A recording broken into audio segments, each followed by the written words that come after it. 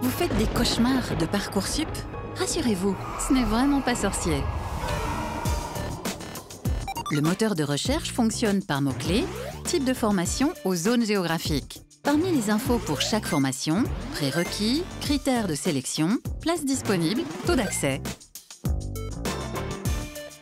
Jusqu'à 10 vœux et 20 sous-vœux selon les formations. Et jusqu'à 10 vœux supplémentaires pour les formations en apprentissage. Pas besoin de hiérarchiser. Nos conseils pour des vœux bien formulés Complétez tous vos vœux et sous-vœux. Mélangez formation demandée et moins demandée, sélective et non sélective. Postulez aussi hors Parcoursup. Confirmez définitivement vos choix avant le 7 avril. Vous recevez vos réponses d'admission au fur et à mesure. Vous n'avez eu que des réponses négatives?